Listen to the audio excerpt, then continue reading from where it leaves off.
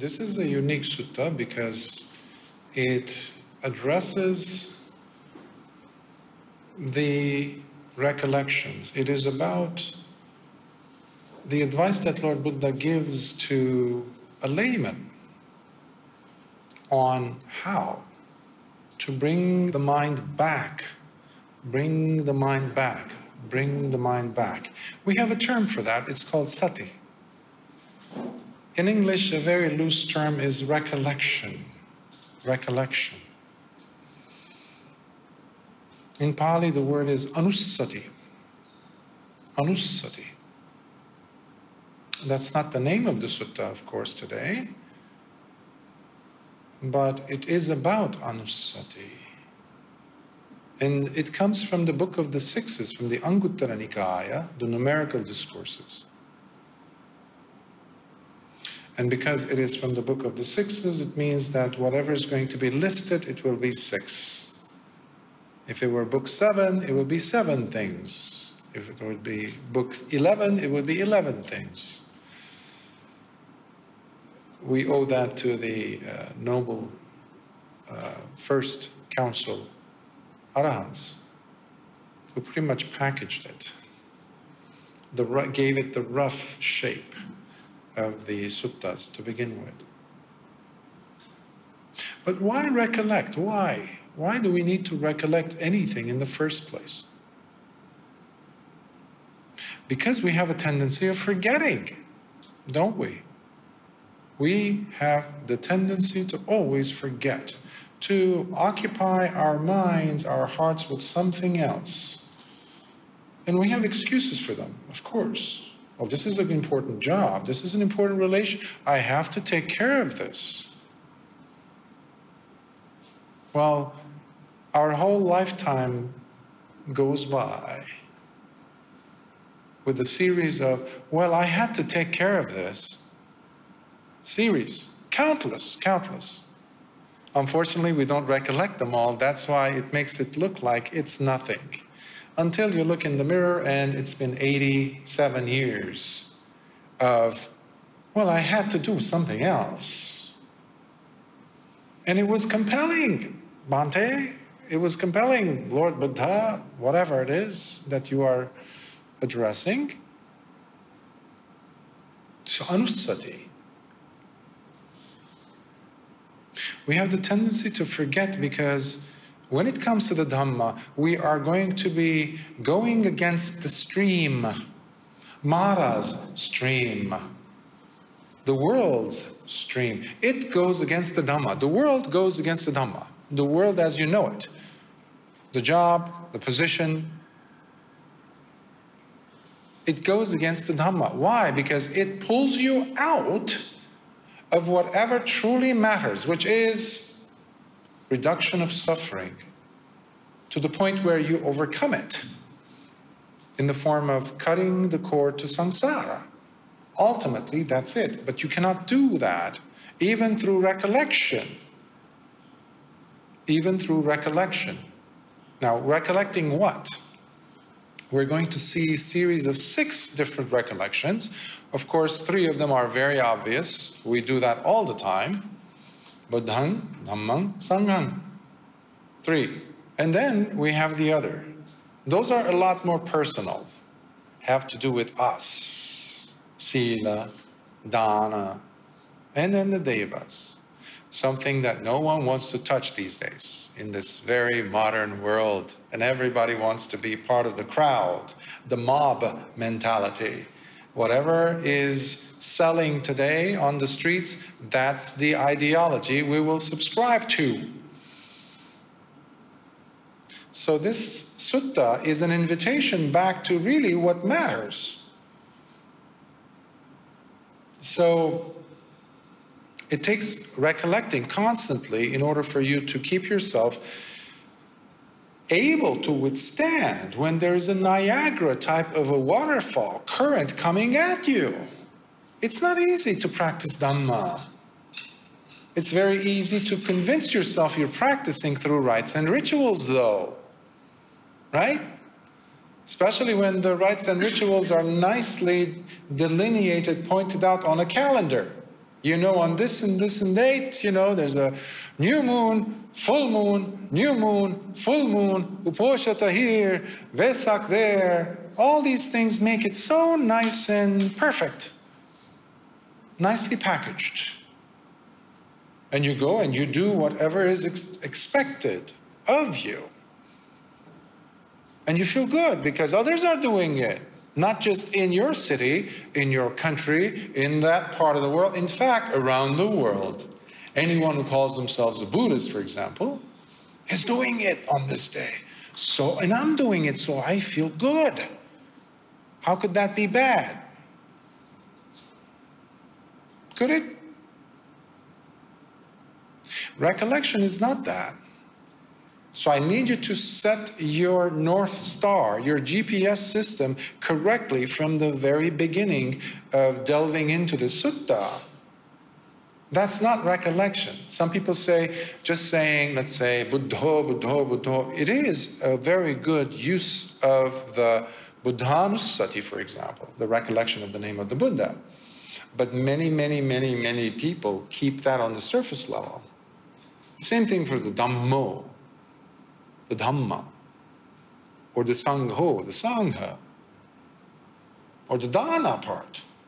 Well, I, I, I paid, uh, you know, the temple. In fact, I, uh, before I die, I'm going to give all my possessions to the temple. I have a huge land, let's say, 100 acres, 10 acres, this and that. Before I die, I'm going to give it to the temple.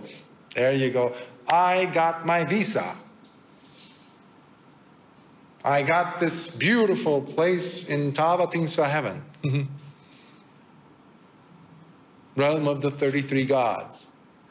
Because people have been telling nonsense like this to the public, to the laity, for thousands of years.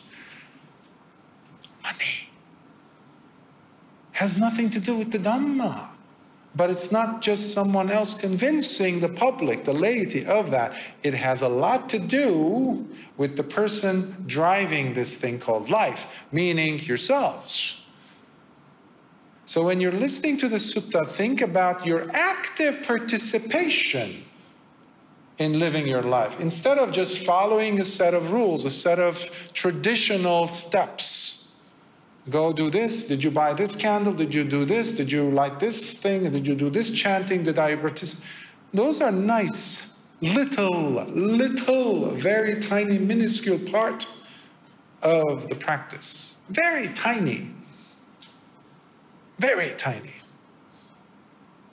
The rest of it is, well, has a lot to do with you taking it deeper and deeper and deeper and really understanding what it means by anussati, recollecting. So it's very active. You have such a powerful position instead of doing the dana. You could do all those wonderful things, giving the dana, giving away your car, your house, this and that. It doesn't have to be something so big. It could be a cup of water. It could be a smile.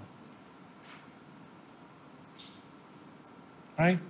Let's not forget the executioner of King Pasenadi, or I think uh, either King Bimbisara or King Pasenadi, who had killed so many people as part of his job, decapitating people, heads. But he remembered just one, one, one tiny little thing he had done. He had given his bowl of rice biryani, delicious type of a rice that his servants had brought him. He offered that to Venerable Sariputta once. That was it. To land him in heaven. but how did he do that? He didn't give his way, away his wealth and all that. So your presence mentally with your heart, where is it? How is it? Otherwise, it's just business that you're doing. Okay, if I give this, uh, you know. I've seen people in Asia, you know them better than I do, who go ahead and build miniature houses with paper. Mercedes, BMWs, and all kinds of jets with paper. right? Treasure, treasure chests with fake money, and then they put them all together and they burn them so that in the next life they will be greeted with the real thing. Or at least one's loved ones do that for them. Lovely little games. But they don't go beyond that. There's absolutely no evidence that any of that is valid. It's lovely little pastime. But it's good business for the people who are building those paper, machete, you know, paper little, you know, toys. So the same thing with the Anussati. It, this is a path for mature people, mature thinking people. This is a path not for babies. That's why it's uncomfortable. Sometimes, if you really want to go deep, you have to take responsibility. I mean, you take responsibility for your life, right? When you're working, you are working seriously to get serious money. Why? Because later on you have to pay serious money to your landlord, to the bank, to the insurance company, to the doctor. Serious, actual, not fake money, real money, which was made with real effort, not passive effort. Otherwise, your job, uh, your boss would not pay you. But when it comes to the Dhamma, somehow we think we can fake it. Why? So the recollection that we're going to be covering has everything to do with the same level of seriousness, dedication, active role playing from your part. You cannot sit on the passenger seat of your life. You have to sit on the actual driver's seat of your life. That's what I mean by mature stance. This is not for babies. So, um, this is from the Book of the Sixes, as I mentioned, Sutta number 10, so 6.10 from the Anguttara Nikaya, and it's called the Mahanama Sutta. Mahanama happened to be, uh, there were cousins with Lord Buddha, and he's the brother of Venerable Anuruddha, who happened to be the half brother also of Venerable Ananda. Uh, Mahanama was the one who ended up actually carrying on the royal crown. Everyone else pretty much ended up in robes. One time, Venerable Anuruddha, actually before he became Venerable Anuruddha, um, he was walking with Venerable Mahanama, uh, with Mahanama. See, I get confused. So, uh, Venerable Anuruddha, before he became a venerable, he was still a layman, a prince. Both of them brothers walking, and he's like, uh, Mahanama says, either you go or I go. One of us has to go because it's kind of embarrassing. Every single Sakyan family ended up giving one of their sons to the Sangha. And it's embarrassing because Lord Buddha is a Sakyan and we are Sakyan. It's kind of embarrassing.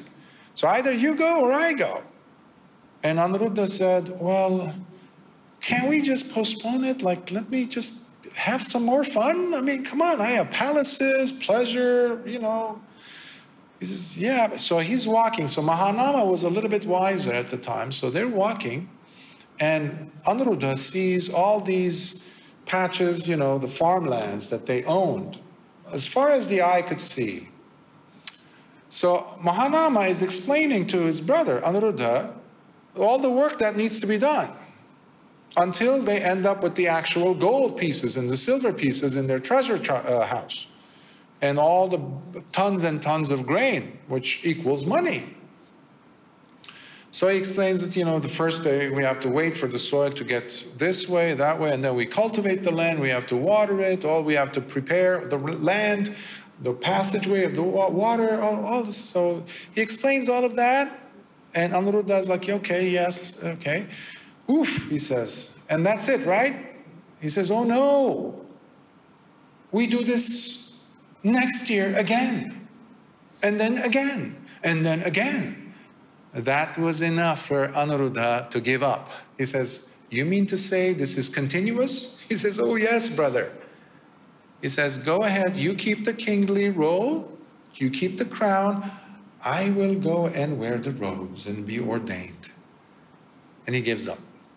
Now, that doesn't mean that Mahanama didn't care about the Dhamma. He practiced it as best as he could as a royal. And he really got deep. I believe he died as a Sotapanna, if not more, at least a Sotapanna.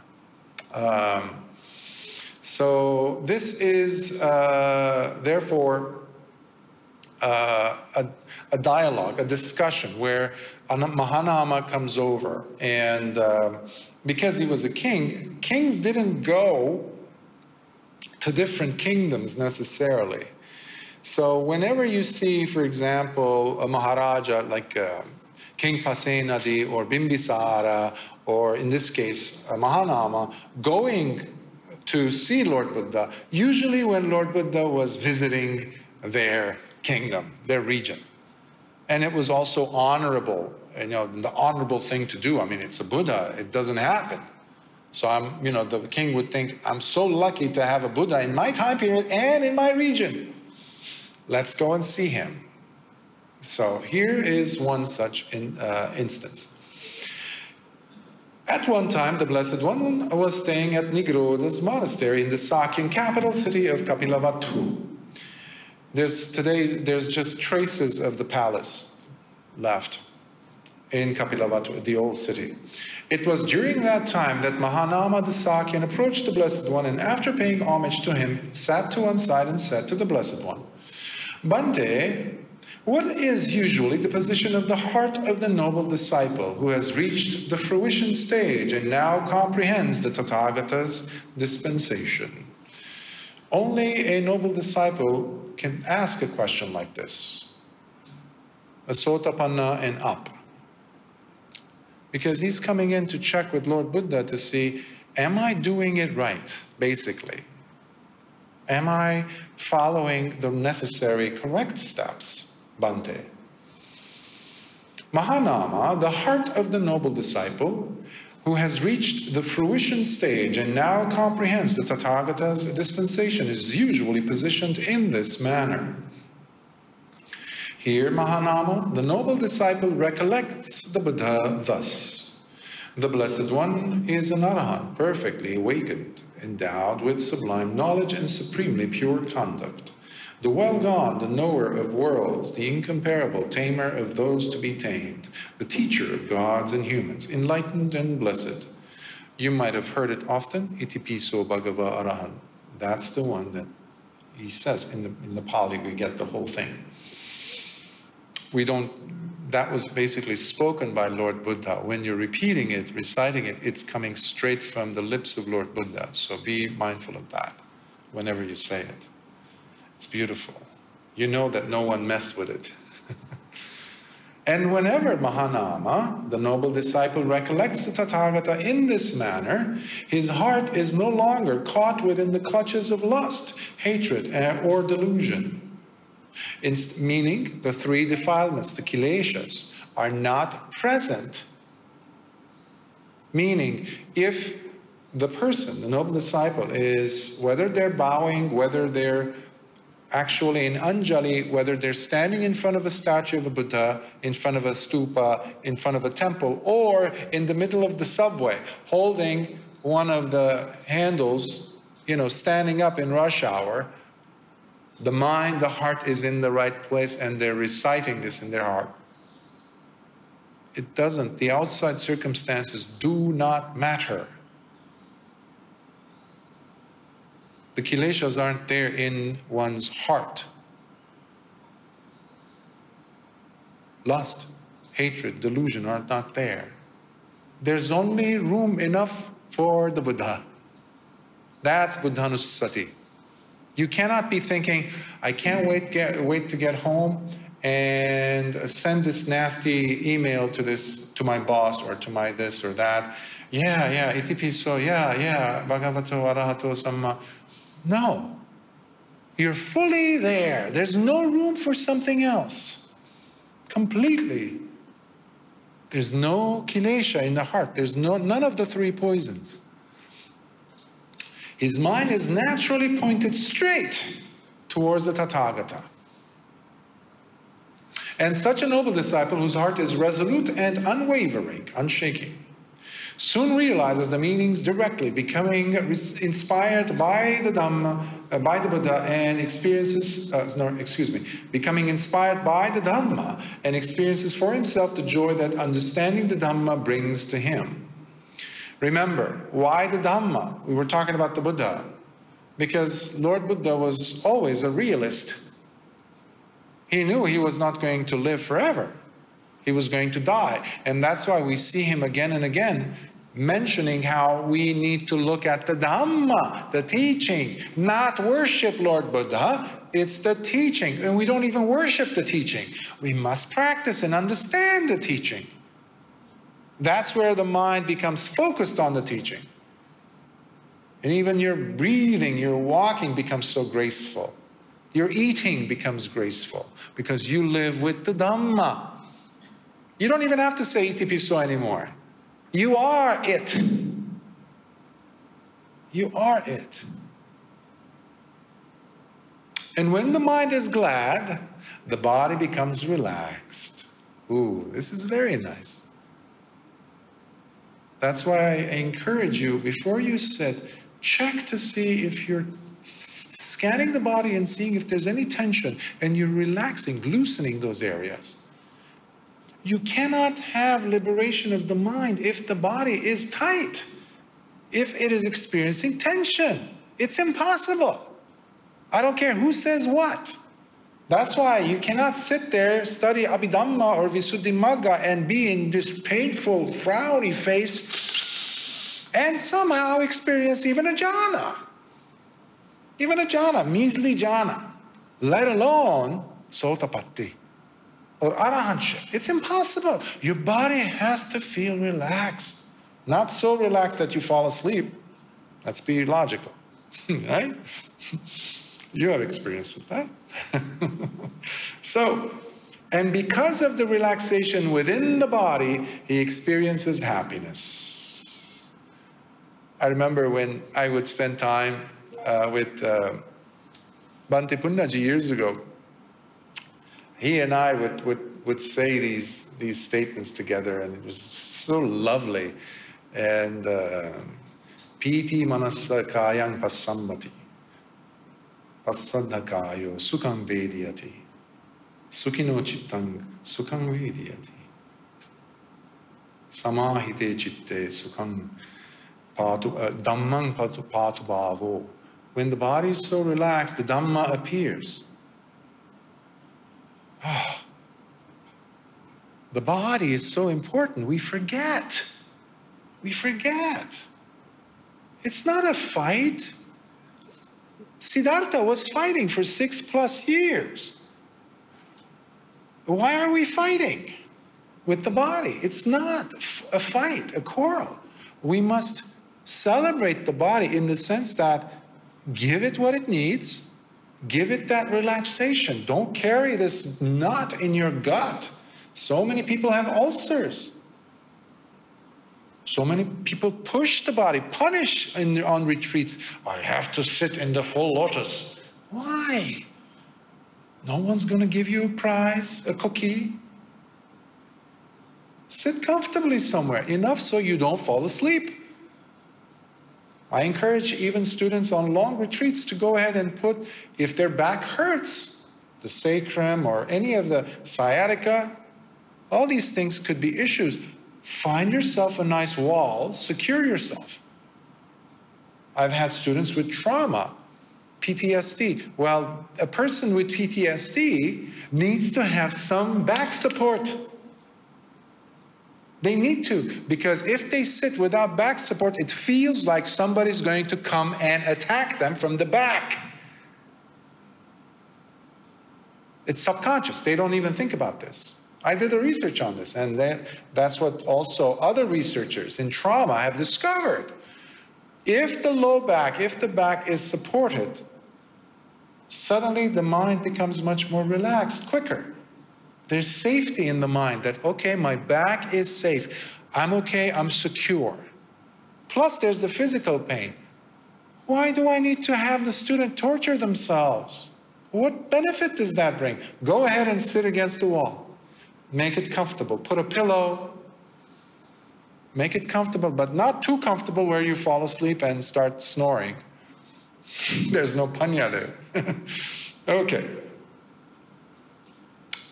And for the noble disciple experiencing such happiness, the mind becomes naturally collected. Samadhiyati, samadhi. This Mahanama is called the noble disciple who lives in harmony amidst a world that is in disharmony. Disharmony, going against it, remember? Against the current. He dwells untroubled among the troubled population, even if you live among crazy people the 8 billion waiting outside. Unafflicted and unstained, and having entered the stream of the Dhamma, he maintains the recollection of the Buddha. Again, Mahanama, the noble disciple, recollects the Dhamma thus. The Dhamma of the Blessed One is well expounded. It is directly visible here and now, or immediately effective, inviting inspection, leading inwards, and to be applied and personally realized by the wise for themselves. That was Svakato Bhagavata Dhammo Sanditiko. Directly visible. By whom? By you, the person sitting on the cushion. No one else. Don't wait for the other person, uh, the monk or somebody, or groups of monks to, to chant it and they are living it type of a thing. That's absolutely illogical unreal. Not true, often. If you want to taste it, you taste it in yourself. That's it. And whenever Mahanama, the noble disciple, recollects the Dhamma in this manner, his heart is no longer caught within the clutches of hate, lust, hatred, and delusion. So we repeat that formula uh, about the relaxation of the body uh, whose heart is resolute and unwavering, soon realizes the meanings directly, becoming inspired by the Dhamma, and experiences for himself the joy that understanding the Dhamma brings to him. That's why you must listen. You must listen with your heart, not to the person speaking. Because you might like the speaker, you might not. It has nothing to do with the speaker.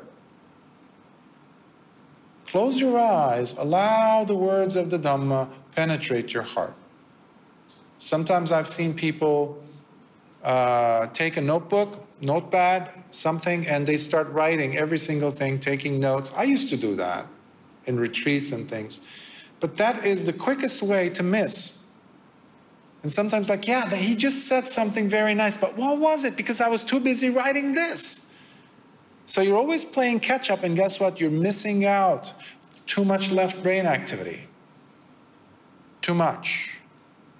In fact, earlier there was a gentleman here while we were sitting. I asked them gently, nicely to please put the notebook down. They were taking notes while we were taking meditating. During meditation, we meditate. We don't do anything else. This is not an academic, you know, forum or some type of a you know, auditorium where we're taking notes and this, relax, do some work, stop being lazy. We think we're doing something. No, we're being lazy because we're not doing the most important work. And when the mind is glad, the body becomes relaxed. And because of the relaxation within the body, he experiences happiness. Sometimes I get students who come and say, Bhante, I was feeling this, this joy and happiness. Is it wrong? Is it wrong? No, why, why would happiness be wrong? Remember the fight that Siddhartha had to go through? Rejection of anything that gives you even remotely some sense of soothing happiness? That is completely wrong view.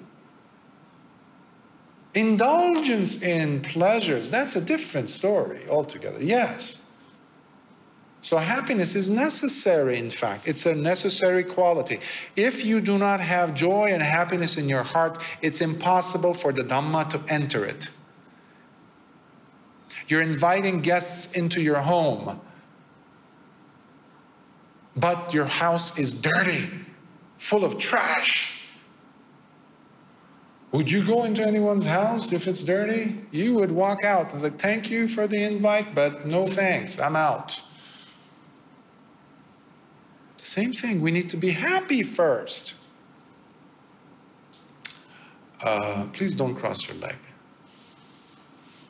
Um, this Mahanama is called the noble disciple who lives in harmony amidst a world that is in disharmony. So this is a repetition of the recollection Anussati that we saw with the Buddha Anussati. Now it's the uh, Dhammanusati. Now we get to the third one, as you guessed it, it's about the Sangha. Again, Mahanama, the noble disciple, recollects the noble Sangha thus. The disciples of the Blessed One are practicing all, well the good way, which is the threefold training of Sila, Samadhi, Panya. Usually you don't see this in the English translation.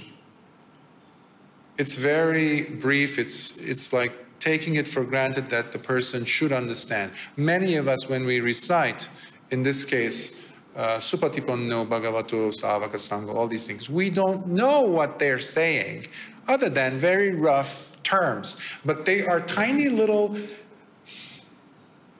umbrella terms which have underneath them deeper meanings which need to be unraveled, opened up, unpackaged, loosened up, loosened up, unpacked, which is why I had to translate it in this way.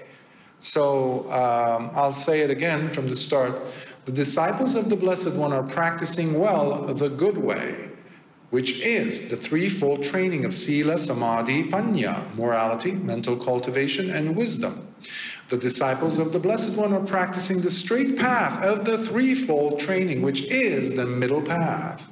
The disciples of the Blessed One are practicing wisely to realize Nibbana in a methodical way. The disciples of the Blessed One are practicing the Dhamma in harmony.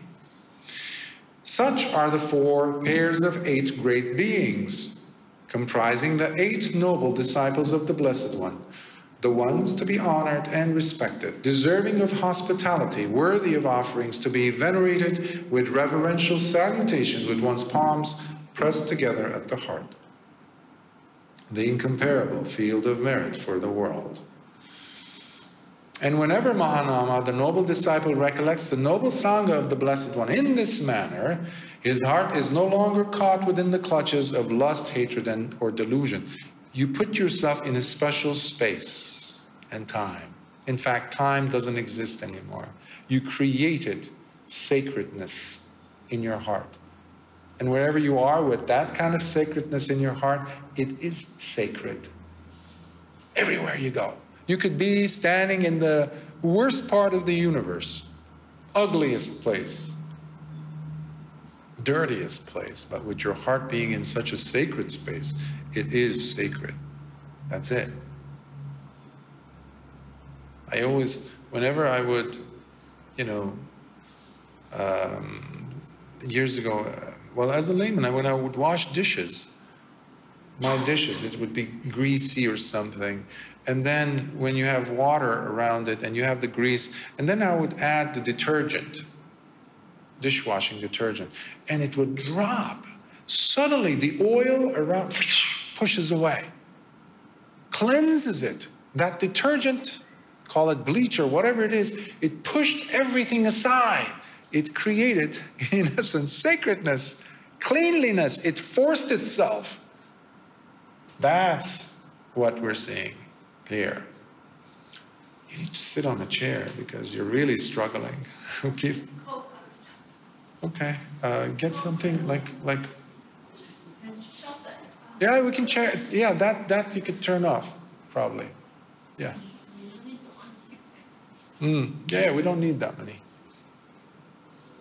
Um, so, and when the mind is glad, the body becomes relaxed. And because of the relaxed, so we see the same mechanism.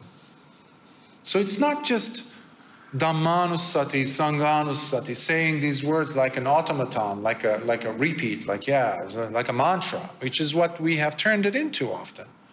It's more than that. You're checking your body constantly. Are the words I'm saying really untying the knots? Untying my, the pressures in my shoulder, my gut, is my body being affected by these words? And if they're not, maybe, maybe, maybe I'm just faking it. Maybe I'm just going with routine. I'm not living it, basically. This Mahanama is called the noble disciple who lives in harmony amidst the world that is in disharmony. He dwells untroubled among the troubled population, unafflicted and unstained. And having entered the stream of Dhamma, he maintains the recollection, excuse me, of the noble Sangha.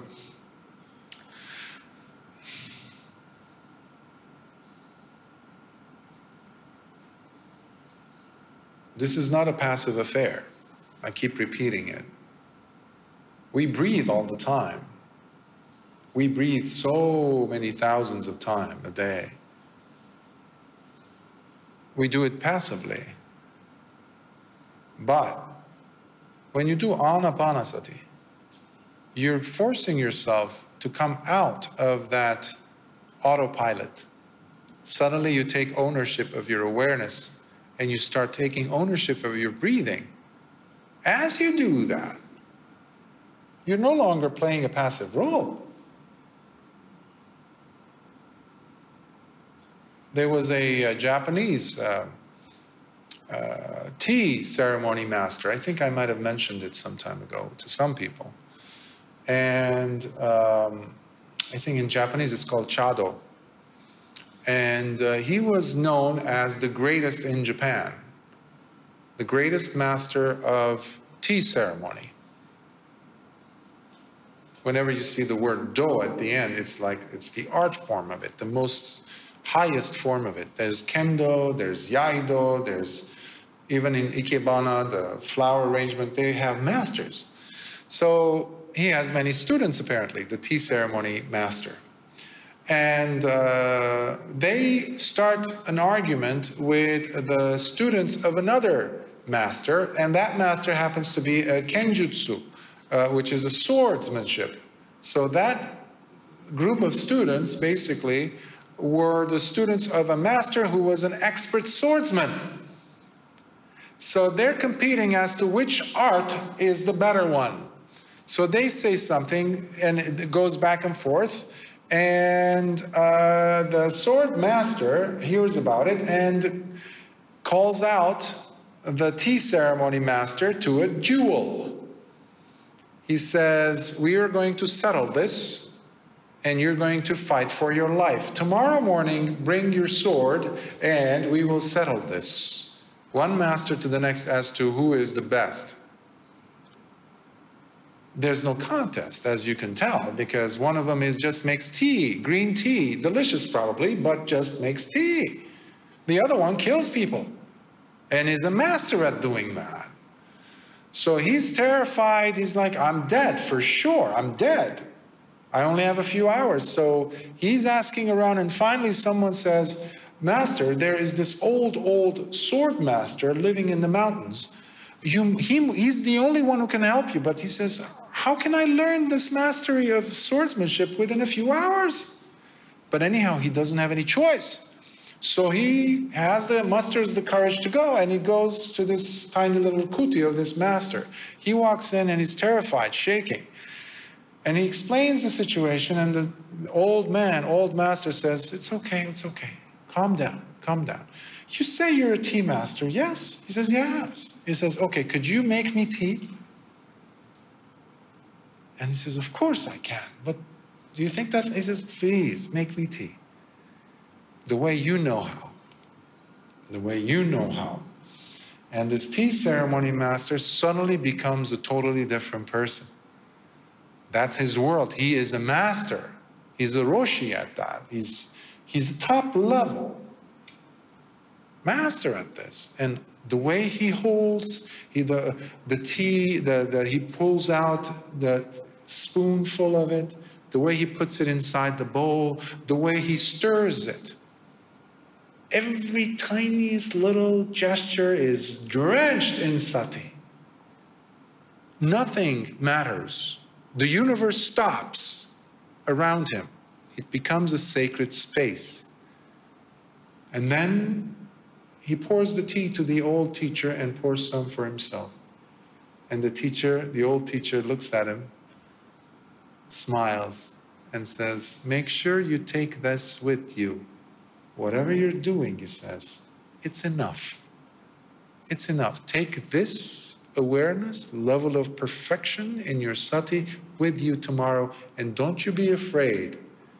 Go and meet this arrogant other teacher. Don't be afraid. And he says, By the way, here's my sword. And he says, Are you sure? He says, Just do whatever you did now, but with the sword. He says, Oh, I can do that. So he goes the next day, early morning, to meet his opponent. And the opponent sees him come and he's like, I have this. I'm going to kill him. There's no way that the tea ceremony fella is going to beat me. But the moment he walks into that circle, the tea ceremony master, with the sword, something is different. Something is very different.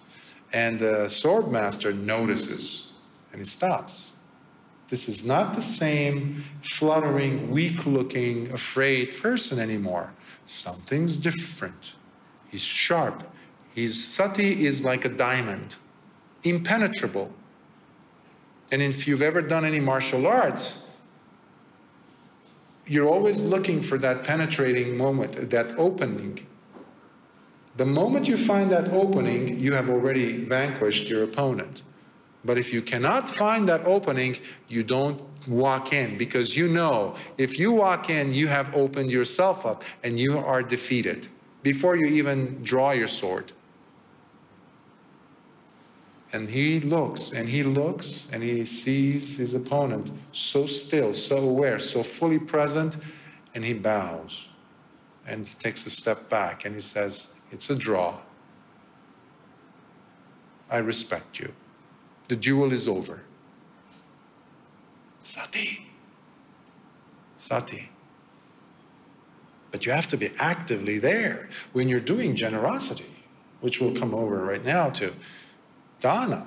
It's not a passive affair. Even the way you prepare something, if you're going to pour some water, some tea, uh, if you, even something mundane, when you get the, let's say, red envelope or something you put inside, the way you fold it, the way you hold it, where you place it, how you hand it, as if it's the very last act in this life that you will be committing. Don't make it mundane. It's like your life depends on it. Don't make it sloppy. In America, we call it sloppy. It's like, yeah, it's like, no. It's like your life depends on it. It's like my, my uh, sometimes I would see individuals or like my nephews or someone close would come sometimes with like a hair caught inside their eye on the cornea, so something blue or something. And the way you touch it, the way you have to get out, like the tiny little hair from the eye, you have to be exquisitely precise, soft, relaxed, so that you can get that thing out of the eye. You're very present. That's sati. That's sati. So, uh, so the Dhamma is always pushing us outside our comfort zone because we're lazy. And that's why we're recollecting here to pull ourselves out. Now we get into outside the triple gem and we get more personal. Again, Mahanama, the noble disciple, recollects his own virtues that are continuously kept, unbroken, flawless, stainless, and liberating from his old negative patterns of behavior. It's not, it's no longer at this level of functioning for a noble disciple, it is no longer just, oh, let me not break the five precepts. It's no longer that, it's deeper than that. It's like life depends on it. It's serious business. And you're not doing it because somebody, you don't want somebody to catch you doing it. You have to answer to yourself. That's the level of commitment. You cannot relax. You wake up in the middle of the night your mind is so sharp, you're waiting, you're waiting, you're observing. If there's any kind of agitation in the mind, if there's any desire for something that could be termed as breaking of sila, you're so sharply waiting and watching like a very strong, alert dog, guard dog. You're waiting. Or a lion that's about to pounce his prey so alert, like a mother jaguar or a, or a cheetah, the fastest running four legged animal in the world. And the cheetah has three or four cubs to feed, and they have not eaten for three weeks. So she has to be very careful not to miss this opportunity. That's how alert we have to be and approaching Sila from that angle makes it, takes it to a totally different level. It's no longer like, oh, I hope I'm not going to break a five, uh, five Sila, Pancha Sila. I hope I'm not breaking. You're beyond that. This is not a baby's work. This is a mature person's effort that's always going on. Because you have to answer to yourself. So you're observing the fact that you're that virtuous, even when life is so difficult for you, and you think that the doors are closing on you, your world is collapsing, all you have to do is think about the virtues that you have in your heart. You say to yourself, when was the last time I broke that precept? When was the last time I actually took something from someone without them knowing? When was the last time that I intentionally hurt someone? And then for such a person, they really have to struggle to remember such a thing. But you don't have to get to that level to know. You can do it now. So when you forget to be grateful, be grateful for the fact that you are living a virtuous life. Appreciate that. Even though you don't have that much money in the bank account, for example, that you want, but at least you're virtuous. No matter what happens, if somebody comes, you see somebody uh, dropping money, you see them, money falling out of their pocket. Large amount of money. But they're not aware. Do you wait for them to go and then you pick it up? Or you quickly say, Excuse me, uh, there's, there, your wallet is out there in the open. Somebody's going to take it or you just drop this. You just drop this. That takes a special kind of virtue. You're not doing it because there are cameras around watching you. So, or you want to be on the news. Oh, look at this person. They gave $100,000 that they found back to the owner. You're not looking for that kind of accolade or acknowledgement. You're doing this for you. That is virtue. That means you don't have this business mentality tit for tat. I do this, you do that. No, you're doing this for yourself. That is virtue. That is special. That is so unique. The Queen of England cannot do that. Probably the Pope cannot do that. Somebody who walks around in robes cannot do that. Probably. But if you can, that immediately makes you part of a special minority. That is why we call them noble. The people that people, you know, United Nations and other countries call them noble, the king of so and so, the royal, royal highness so and so, they're not royal highness at all as far as the Dhamma is concerned. In order for them to be noble, they must be better than you. Better. In your sila, I've even seen uh, Buddhist monks, Theravada monks, bowing to the Queen of England, which is a no no. A Buddhist monk never bows to anyone in that capacity. You bow down to someone superior, especially in the case of superior in the sense of Arya, Arya, noble, why though noble? Because the nobility comes from one's own virtue in the heart. I doubt that the king or queen of this or that country, not in this country, uh, anywhere, could actually, when the opportunity presents itself, they will not lie. Politicians lie all the time. So, where's the nobility in that? I know many, many, many students who will not lie. They will have this fight in themselves. That is nobility. Acknowledge it. That's what we have to recollect. That's anussati, sila. The higher level of sila, especially as you work on this, it becomes adhisila. Adhisila, which is no longer just for pretenses. I keep my yes, I, I, I keep my sila, especially on Uposatha days, I, I keep my eight precepts. Yeah, but what do you do after that? When no one's looking, actually. Why every two weeks? Why not always? Why not always?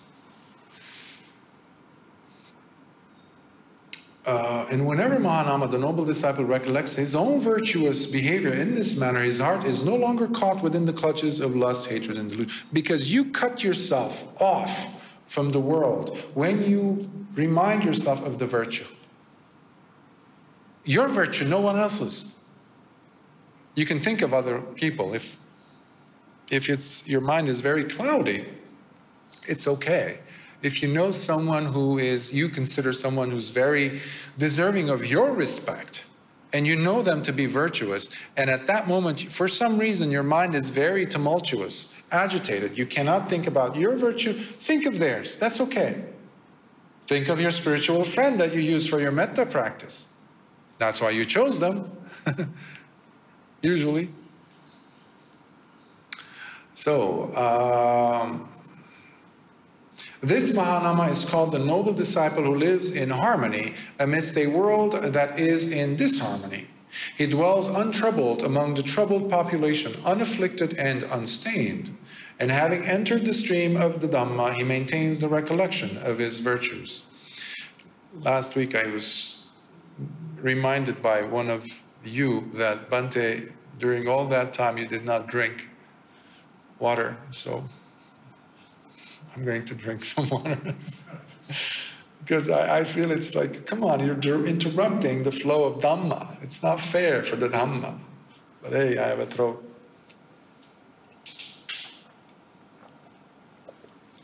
Possibly I'll do a better job with better voice. Okay, number five. Again, Mahanama, the noble disciple, recollects his generosity while reflecting, it is truly a great gain for me that despite being surrounded by a world that is obsessed by stinginess, I, on the other hand, live with generosity in my heart.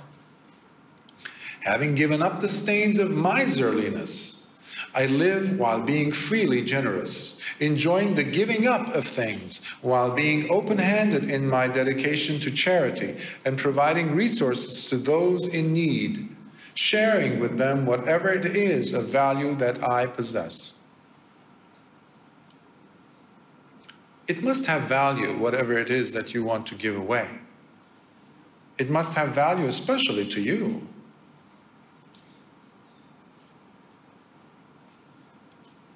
At that moment, at that moment. It means your goals are no longer that important at that moment. Yes, of course, it could be financial, because whenever we think about generosity, immediately the human brain goes to finances, money, objects, material things. Okay, that's part of it, because we have to live in a material world. Yes, okay, fine. But can you be generous when someone is in pain and you are also in pain? Your boyfriend or husband or somebody left you. So you have all the reasons in the world to be upset, angry, blaming people, basically saying to everyone around you, pay attention to me. I need you, world, to pay attention to me for a change, okay? Because I am in ruins. I'm lost. I lost everything. Meanwhile, you see this other person coming in next to you, and you realize without the shadow of a doubt that they are also in a very bad state. Your mind is going to say, yeah, but there's no way that her situation could compare to mine. So mine is worse. So she should pay attention to me. Why should I actually start, you know, becoming compassionate or empathic, listening to her, listening to her? That listening is the act of generosity at that moment. And listening truthfully. This, is, this means that you are making space. You're giving up. At this point, you're giving up your infatuation, your attachment to my pain, and saying, Let me be there for another human being. And let me put the contrasting, conceited mind outside for a change and just be here for her, for him. This is something that human beings during these last, especially last three years, two and a half years, have forgotten. It's not being promoted. We have become especially selfish, especially, and I've seen this across the globe. I've seen this in families against each other. No, no, no, my problems are more important than yours type of a thinking. And we have all kinds of reasonings for that. Where's generosity in that? So you see, I'm not talking about money, material. I'm talking about you becoming available for another human being. I've also noticed this in when you are in a responsible position, when you have access to certain things that other beings don't. When I was a high school teacher and department chair of uh, this K through 12 school, and I would have, you know, I would teach biology, I would teach other sciences, and then the students would apply to different universities and colleges. Now, sometimes I would get students who were not straight A students or they weren't like excellent academically. But I had seen how they were trying so hard, they developed. I've seen them as they were even like fifth or sixth graders, and now they're in 12th grade, they're about to go into the world. They're really excited, and I have suddenly a power that I could exercise to make their dreams come true. And I would see some other teachers who would bend over backwards or try to pull strings or say, No, I'm not going to give you this letter of recommendation. But the moment they would come to me, I'm like, I can't believe this. The universe gave me this very prestigious or privileged position, I, I think I like to call it, where one letter, how much time is it going to take me? You know, maybe 20 minutes to write a letter. And I know the person, I don't have to ask anyone. I know them in their citizenship, in their behavior. I pushed their buttons over the years, I've disciplined them, and I've seen their development academically. I have all the cards. So who else is going to write? And why shouldn't I? So over the years, I would write these recommendations letter, letters like hotcakes. I would just give it to them. And then I would just wait like them, like, you know, I can't wait for them to get this news from UCLA or wherever, you, you know, Berkeley or something. And they would come back, they're jumping up and down. What was that? How much did that take from me? I didn't get paid for that. It was my time, it was my lunchtime actually, which I don't get paid for, you know. But another human being now has parts of their goals checked because you did something for them. Isn't that generosity? So there's, I need you to think outside the box. Don't just think in terms of, because I'm, I'm surprised sometimes I hear people, lay people especially, when they come and they say, Bhante, whenever I go to the temple, I'm kind of sick of it because they keep tell, talking about Sila and Dana, Sila and Dana, Dana and Sila, Dana and Sila. Dana usually, generosity and precept. That's not the Dhamma, you know? There's more stuff to it than that.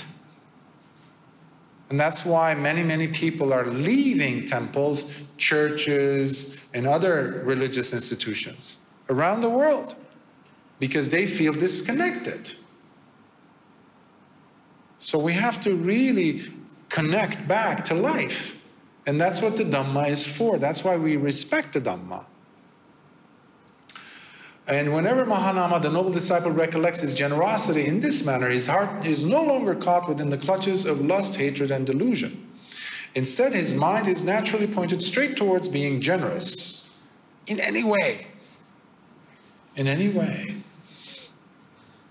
Uh, and then he goes, whoever is like this, their heart becomes happy, just like in the other segments. This Mahanama is called the noble disciple who lives in harmony amidst a world that is in disharmony. He dwells untroubled among the troubled population, unafflicted and unstained. And having entered the stream of the Dhamma, excuse me, he maintains the recollection of his generosity. Again, Mahanama, the noble, this is the number, the number six. The noble disciple recollects the devas, which for some reason, for some people, some Buddhist circles, is a taboo. People don't like to talk about devas, especially in, even here in Asia. I, I, I was joking the other day, factually, that there's a lot of people here in Asia who believe in spirits, angry ghosts, evil spirits, than devas. Oh, Bhante, are they are there spirits? Are there this? Are there that? You know, in Petas, this, and we celebrated a few days ago. You know, okay. What happened to the devas? Nobody talks about the devas. Where, where'd they go? They're here still, you know.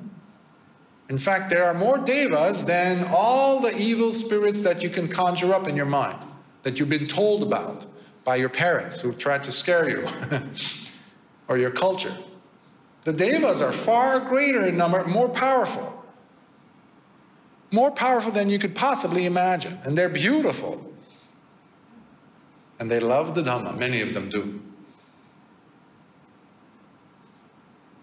So you recollect the devas. Think about the devas because we are so lost. We have put ourselves in this shipping container we call my life, my material life, and it's sealed shut with concrete until the moment of death. That's when we kind of get weaker in the knees and we say, oh, okay, I hope there's another life. I hope there's another heaven. But throughout your life, imagine if you could always remember the devas while you're alive. You go to a park, you go, you listen to a Dhamma talk, there's always some devas around during Dhamma talks. Always. I don't recall a time when I've never felt them. At least a few. You're alive. They're alive in their way. Why do you shun that? Why do you shut that out of your life? Saying, well, it doesn't fit into my paradigm. No, it it should be. Do you see all the ants that are in this building? Do you see all the bugs that are inside you, in your intestines? The billions and billions and billions of tiny little gut organisms? Do you see them? They're doing a lot of work, you know. They're helping your gut to digest the food. You never send them a happy thank you card. You never celebrate them. You never say thank you. But they're there. The devas are there too. You don't see them. That doesn't mean they don't exist. Your friends exist, but you don't see them now. They're outside. But they're alive. Similarly, there are devas reborn in the company of the four great kings.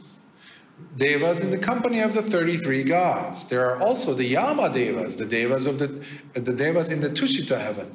Devas who delight in their own creations and Devas who delight in controlling the creation of others, other Devas. There are the Devas who are in the Brahma's company, and still above these realms, many more sublime Devas are to be found.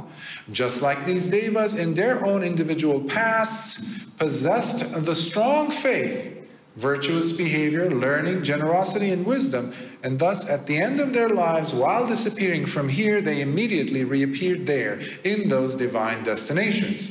I too, this is the person who's reflecting, I too now possess in my heart the same level of faith.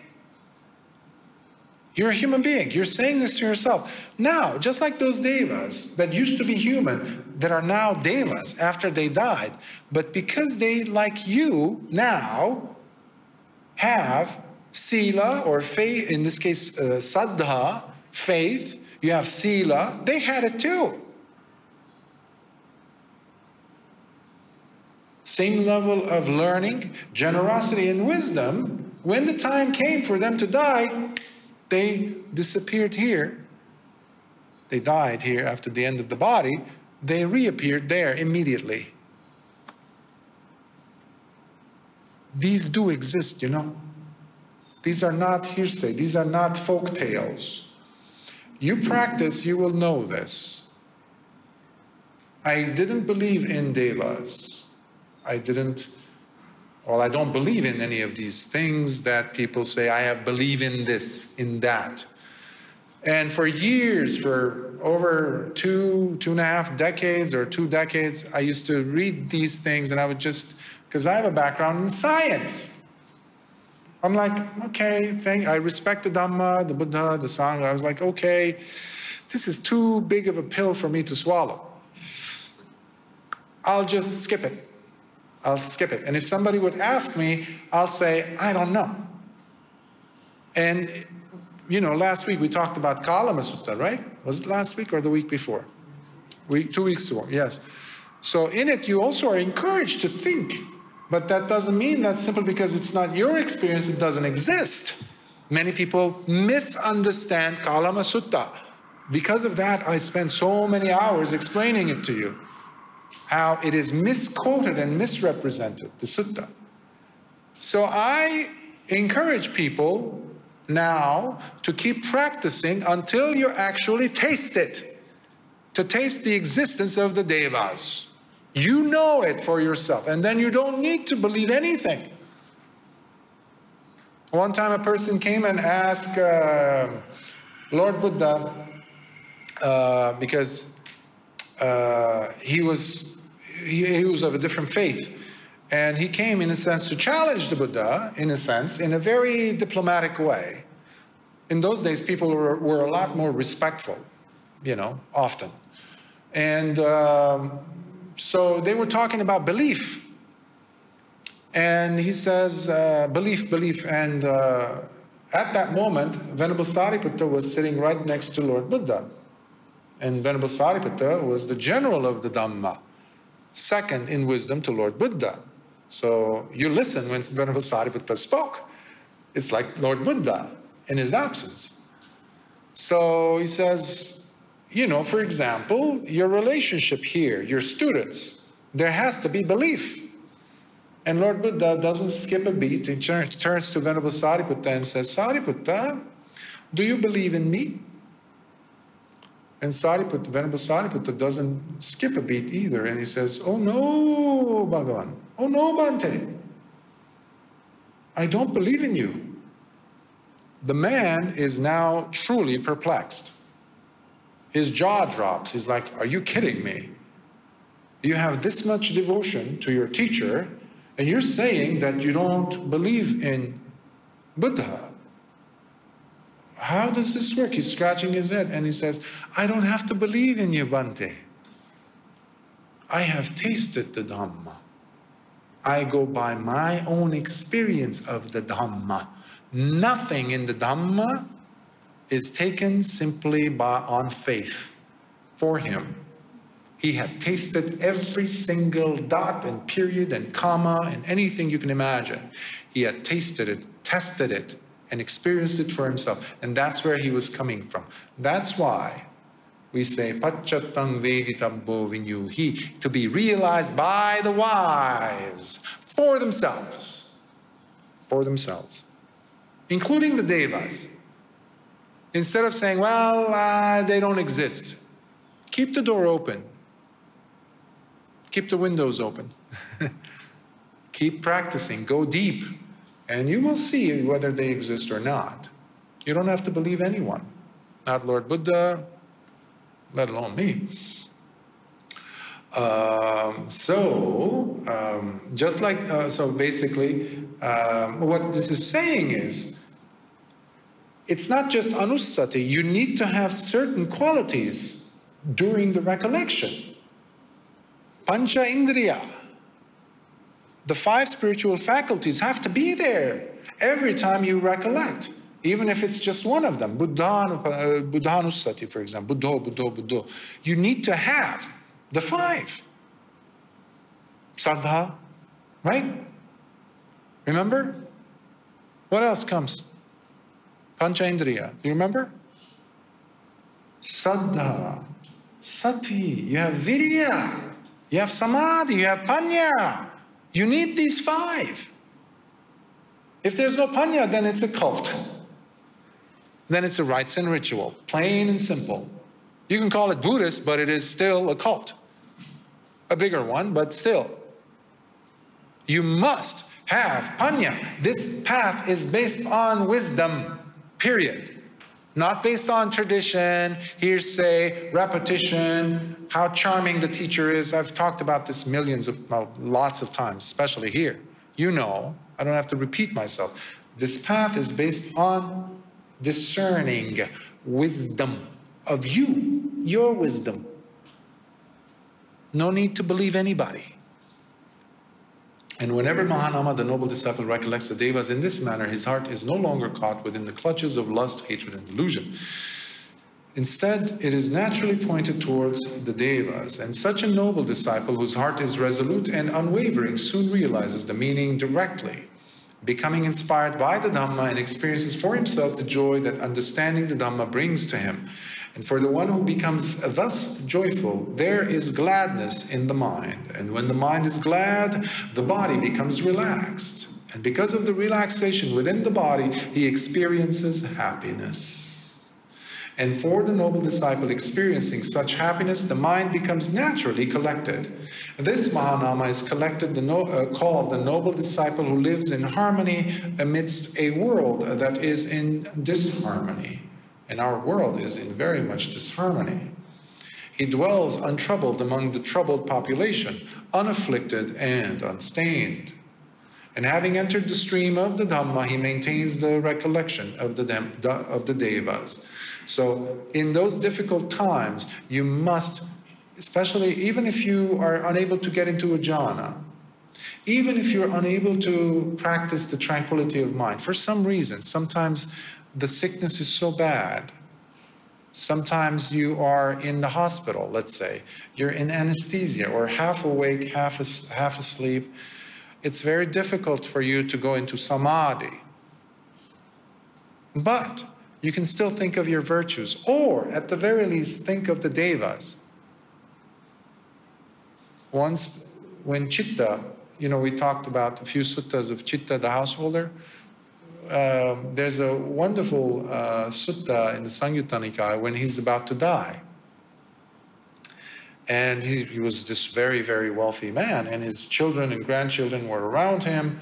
And at that moment, they see him, their father, their grandfather, in bed, talking, conversing. And they say, Oh, dad has lost it. Grandpa has lost it. You know, he's just, you know, no longer coherent. And he says, You guys don't know what you're talking about to his children and grandchildren. And they said, But you're talking to yourself. He says, Oh no, I'm not talking to myself. I was talking all right, but I wasn't talking to myself. And they're confused. And he says, There are many devas now here in this room and some of them who don't know the Dhamma very well, or at least are not of my stage, because he was an Anagami,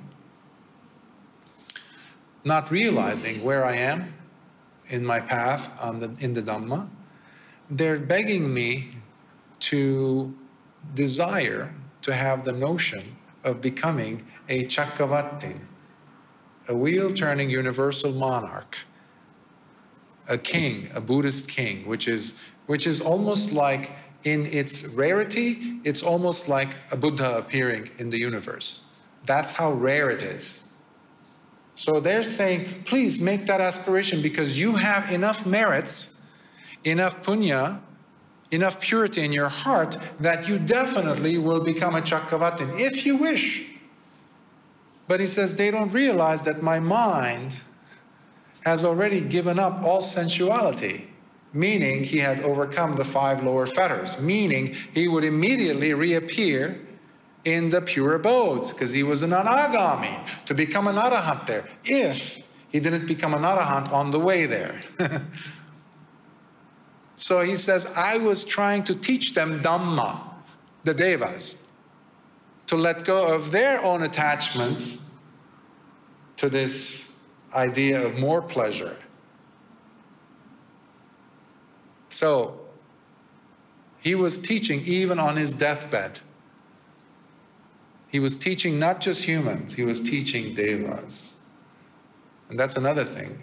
Not all devas are really advanced in the, in the Dhamma. There are many, many who are, but there are also many who are not. So they are also watching and observing you. If you practice Sila one day and you don't practice the next day, they're kind of disappointed. They might have actually been inspired by how you did dana or how you lived with sila for one day or one year or 10 years. But then it's like a very good friend who is inspired by you, but one day they see you go and do something out of character. That's very disappointing. They'll say, I can't be your friend anymore, and they just walk away. The devas are like that too. They're like people. So be careful because the devas are also watching you. so be in your best behavior. Not because they would do something. No. It's like a very dear friend. You don't want to disappoint them. And you might even inspire them to become even better Buddhist, better practitioner. Mahanama, this is the manner in which the heart of the noble disciple who has reached the fruition stage and now comprehends the Tathagata's dispensation is usually positioned. Sadhu, sadhu, sadhu.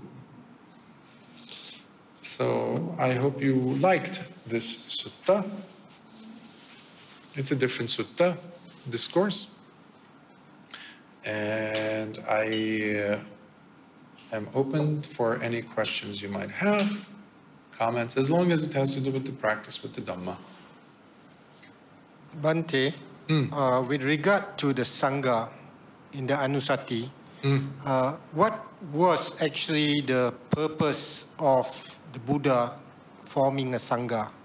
The, the question here relates to two, two points. Mm. One is in terms of the four verses which you read just now and elaborated uh, that actually gave a semblance on what the Sangha is for. But I like to highlight the Digha Nikaya, in which the final words of the Buddha, he tells everyone to actually put their trust in their own capacity in terms of using the Dhamma and the Vinaya as the guide. So how do you see the Sangha's prominence and power and authority in the whole context of Buddhism? Ah, that's a can of worms, we say in America. I've addressed it in different ways, almost in every single talk I've addressed it. Wrong view is everywhere, simply because we are on the surface practicing what can be seen as the Dhamma, reading the text, listening to talks on in the Pali suttas, out of all suttas, which you know are the most authentic doctrinal suttas, but there's always, sadly, room for wrong view. That's the human condition. I remember one of my oldest teachers, earliest teachers, he was a Mahathera. He was in his 80s, almost 80s at the time, actually, late 70s. And I said, Bhante, I was close enough to him. I had been with him and I was his kappy, I was his, you know, around him, and I would spend at least five days there. He was the first one who said, I need you to become a bhikkhu. And my father said, no. Anyhow, he would uh, not practice meditation. And you would say something about the suttas, and he would go off and start reciting entire paragraphs in Pali. So I had a dilemma. I was like, Bhante, you don't practice. So I knew he wouldn't get offended because he knew that I was kind of weird. I was very spontaneous. He kind of expected that from me. Obviously, I said it in private, out of respect, of course. But I said, Can I say something, Bhante? And, and he said, You sure, go ahead. And I said, I've never seen you practice, Bhante. I'm sorry to say that, but I've never seen you. Do you practice? Maybe I don't see you practicing. Maybe it's my fault. I, I don't, you know. He says, No, I don't practice. But I said, How is the Dhamma going to help you? He said, Well, and he said this with some sense of confidence, belief rather, that as bhikkhus who know this many suttas, uh, when we die, we will go to a heavenly realm. Of course, I was in no way where, you know, I would say to myself I was an expert. But I knew something was wrong in that statement. And this was coming from a person who's an actual, bona fide, 100% Mahanayaka. You can't get higher than that, okay? In robes. You know, mundane level speaking. So, what to do in answer to your question? The Sangha, the way I understand it, is the noble Sangha, which I understand also as the Maha Sangha. Unfortunately, when you go to a Dana ceremony, any temple, when they talk about Maha Sangha, they're talking about the collection of actual bhikkhus sitting there. They call it Maha Sangha. Wrong. That is not the Mahasangha. Mahasangha is the Arya Sangha. That means the eight category of noble disciples, that whether in robes or not. This is what makes very, that's why you don't, you rarely see monks being present when I give Dhamma talks. It makes people uncomfortable, let's be honest. Mahasangha, lay people, how is that possible? That goes against every traditional value we have. People will say that. Well, that's what you just mentioned in the Mahaparinibbana Sutta the biggest sutta. Lord Buddha is urging us, urging us. that's what he was doing for 45 years. Urging us. You don't have to be in robes to be practicing the Dhamma. Majority of the people were not in robes. Chitta, I just gave, there's so many suttas on him. Three times I mentioned him. He was a layperson.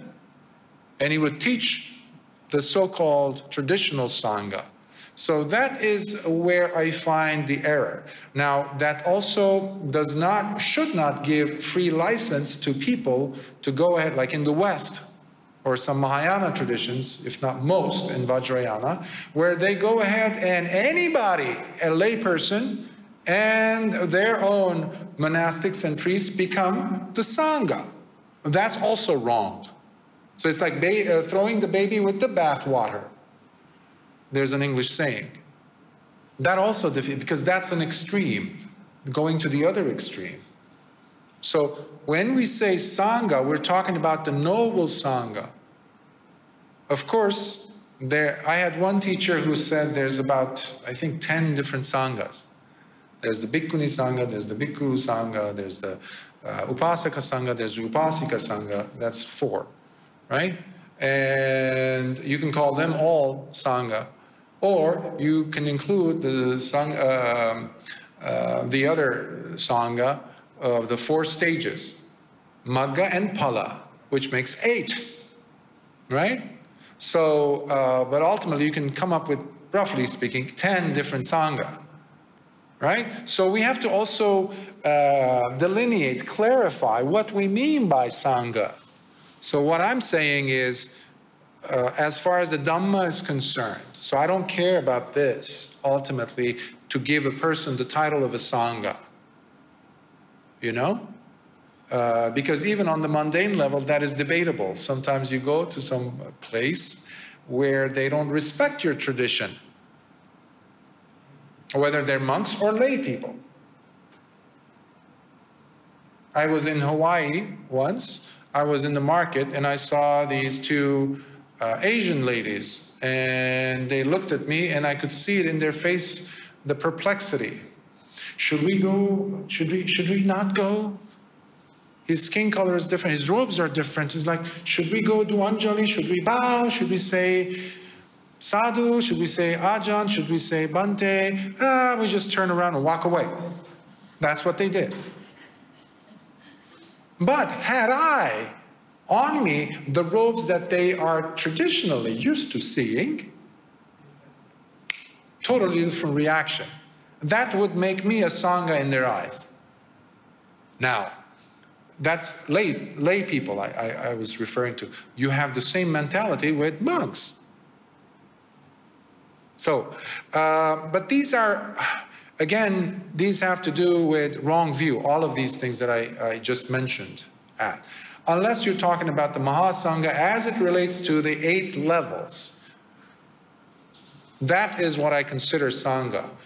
Uh, and that's why I don't uh, respect simply a person's seniority based on their vassas. And that's why I talked about this and referred to the suttas many, many times. Here, Pathamaniddasa Sutta and Dutiyaniddasa Sutta, which no one reads, no one talks about. In it, Lord Buddha is clearly delineating as to the criteria that make a person superior in the Sangha. Hmm? Yeah, Arya, of course. Now, he was talking specifically about monks also, beyond just Arya. But no one talks about that. So these are unnecessary and kind of outdated, antiquated ways where people are becoming very much uh, following a system that no longer is, is substantially practicing the Dhamma. That's why I highly am encouraging of each of you to be practicing the Dhamma. And don't look down upon yourselves. Don't think of yourselves as anything less than a person in robes, as long as you're talking about the Dhamma, the depth of Dhamma, and the thirst for Dhamma, and the practice of Sila, Samadhi, Panya. Sila, Samadhi, Panya is crucial. Don't think that that comes with robes. Okay? It doesn't. They don't. The three trainings are only in your heart. The attainments are only in your heart. They have nothing to do with your attire or your hairstyle. They have nothing to do with it. Those days are gone. If the Dhamma, which by the way has very limited time on this planet, it's dying at a very, very fast rate the teachings of Lord Buddha, I mean. It's dying, let's be honest. And that's why I'm so adamantly driven to do what I'm doing and continue to do so. And that's why, you know, it's, it's not joined by others. There are some, very few in the world. I know of only one monk who has uh, such a strong position. Unfortunately, the other uh, one, uh, um, died. Uh, he was uh, Mahathera and he was uh, uh, in Sri Lanka, Bhante Ñāṇananda. But unfortunately, people are people. You will become persecuted and pushed aside like he was pushed aside, despite him being such a giant. And plus, he was an arahant. Nobody talks about it. They talk about Ajahn so and so, they have the Ajahn this and so and so. Just his books. Just pick any of his books any. Thin, thin, thin. Each line is loaded with Dhamma. He was an arahant. But you're not going to find people who want to claim him as their teacher because he was not famous. That's another thing. People want to be the students of this arahant that is recognized. I am the student of this, that Ajahn or this something. You pick it just shows about the, the fickleness of human nature. You have a lovely smile, by the way. Thank you. I may not be, uh, it's just a bit uh, uh, deviating from a thing, yeah? throughout the talk today, I found you were emphasizing on a person coming from the passenger seat to the driver's seat, right? According to the Hindu, they believe in the caste system.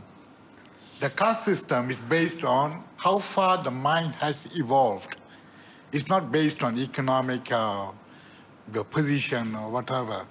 It's purely how far your mind has evolved. So now the Gautama Buddha does not believe in the caste system, but during at his deathbed, he said, he said to his followers, do not follow my teaching out of respect. Do all the readings available wherever it is, and what appeals to you, follow that, he said. So we, we're talking about Dharma, it's not easy to be followed if our mind has not evolved to that state. Is, is that your question, sir? Yeah. Or- oh, okay.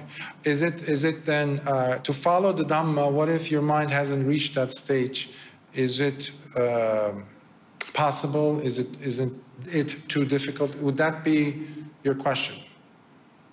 Yeah, that's what I said. The mind must take its natural course.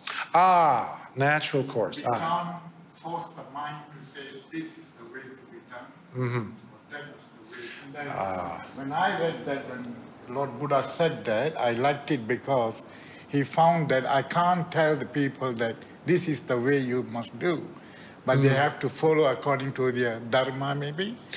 ah, that is not from the the Buddhist tradition, as far as I know. That was uh, from something else. I don't know what, but. Uh, that's why I've always encouraged individuals to look at their sources because today anybody could write anything about anyone about especially when you add the factor of time we're talking about 2600 years almost uh, they've even made him into an avatar in, in India. Has nothing to do with Buddhism, but they saw how much public there were. So it's a very interesting tactic, you know, sociological, economical, all these things. And guess what?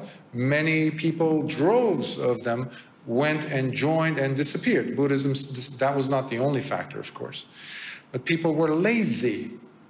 People love rituals. That's why most temples, when you walk in, Buddhist temples, most temples you walk in, you will see statues of uh, devas.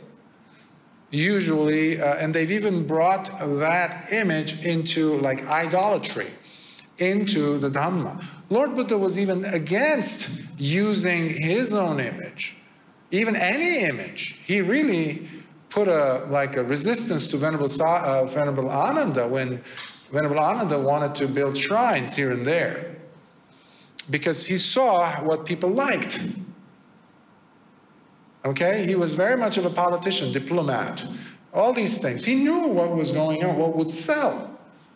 So even when it was a matter of stupa building, Lord Buddha was, you can, I like to think of it as he got frustrated and he just took his bowl, flipped it upside down and said, okay, there you go, that's the design. Because they came to him asking, Bhante, what should be the shape? Like, are you kidding me? I'm teaching you the Dhamma to break free from samsara. You're coming here talking to me about how should the stupa be? What style? Take the bowl, flip it upside down. There you go, go away. Up until the end, Mahaparinibbana Sutta, you see Venerable Ananda still coming, like nagging Lord Buddha, who is just looking for anybody who's ready. I'm about to die. The Buddha is about to die, and he's saying, "Who's ready? Just, just bring me anybody who's thirsty, who's really close, and I, I, I can help them to become arahants." And a few people did. Here, Venerable Ananda comes and says, "Bhante, how should we arrange your funeral? Who should we? How should we divide the relics?" To add some human elements to it, you can see almost like Lord Buddha saying, Are you kidding me?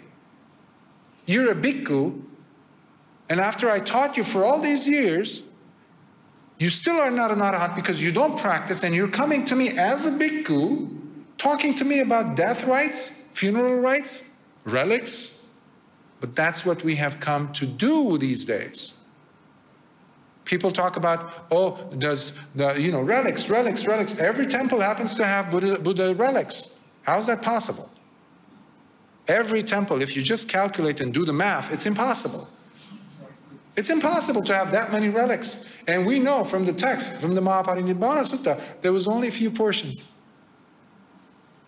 But if you have something like a nice little stupa, and there's huge businesses, Thailand, Burma, Sri Lanka, people build these lovely ornate things and they put something in there. It's like, yes, that's the Buddha's relic or something. This is very lame, cheap, has nothing to do with the Dhamma. Of course, there are relics, the tooth relic, etc., some relics in, in Burma, Venerable Sariputtas, Mahamoggallānas. I've been around some in Kushinara, there's, there's some real relics, but they're not as many as you would be seeing around you. But coming back to you, what you said directly, Lord Buddha, I don't see him ever saying such a thing. Because if that's the case, then you would never grow. You had to go to school. English did not come naturally to you. You forced yourself. Somebody even forced you. You cried and kicked and screamed, but you learned. Walking, that didn't come naturally. You struggled against gravity. So if that's the case, we would still be swinging from trees. That is very similar to Abrahamic religion. No, absolutely not. Abrahamic religions cannot hold a candle. Now, I come from one, Christianity, and I was actually studying to become a monk, Christian monk. I was in monasteries. That's not it. So what? That's one of the reasons is, uh, you know, when people even I've seen some monks compare. Uh, Buddhism is the same as Christianity, like Buddha is the same as this, and you see those interesting pictures. They put them next to each other Jesus, this, that, and Buddha. What's wrong with you? You know, uh, obviously, this person is trying to compare apples and oranges, we say. They have no idea. They're bringing down the Dhamma to their level of understanding. That's the problem. So uh, I've studied Hinduism, uh, but I'm not an expert at it. I've studied Ayurveda, I'm a yoga instructor, all these things I've done for a long time, but I'm not an expert. I don't call myself an expert. Uh, however, I encourage people to go ahead and study uh, before talking to me. In the US, it would happen. People, uh, you know, Westerners, somebody who happened to have read a, book on Buddhism by a Christian priest, pastor, in fact. And that was their education in Buddhism, and that's what they were using to argue with me on the premises of Buddhism. And I said, Where are you coming from? I'm sorry. It, it doesn't match the level. You need to go, and people have motives, hidden motives. I'm trying to bring it down to my level so I can say, yes, this is it. It's not it. So if you're going to compare something, I highly encourage you to go ahead and explore it, understand it fully, and be ready to challenge your old beliefs and walk away from some of them. That's why the greatest minds in India at the time went and became students of Lord Buddha the greatest. Western philosophers today boast and say our schools are this and that, or Greek philosophy. They cannot hold a candle to the philosophical schools of India at the time, 2,600 years ago, because all of those schools existed then. And many of them ended up becoming Lord Buddha's students. So I highly recommend studying this. Otherwise, it's like somebody who knows I don't know, Arabic, and then compares the Chinese literature to some grammatical structure that they see and understand in Arabic. It doesn't work.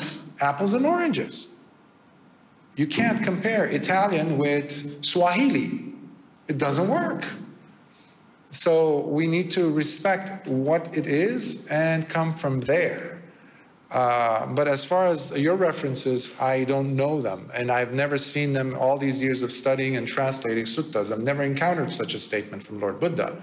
If anything, it's the opposite. It's the opposite, opposite because the word that we look for is adhitthana. That means breaking free. It, it talks about the determination of the person to break free. Every time to, you stand up, you're actually practicing adhitthana. You might not know this. Every time you stand up, every time a tree pushes against the ground, pushes out, against stands, it's practicing, in a sense, adhitthana. I mean, I'm just using the example freely, but as far as a human is concerned, you're standing against gravity. That will that a human being has, we cannot minimize it. And that's all about the Dhamma. That's why it's not a belief, it's a practice. It's a practice. You can't do, just do some pujas and some this and that, and that's it, we're good to go. No, it's a practice. But practice means working against our natural tendency to be lazy. I don't care what skin color you have, what culture you come from. Lazy. That's what we are, including devas. Makes no difference. You have to work. If you've ever seen a child, an infant that crawls and then gets up on the feet, how many times do they have to fall? A lot. But they get up. Somebody pulls them up. Somebody pulls them up. Finally, they do it, and it's like, yes. That's the Dhamma practice. So I hope that helps. Let us uh, transfer some merits. Akasatha Chabumata Devanagamahiddika Punyantang Anumoditva Chirang Rakantu Lokasasanam Devanagamahiddika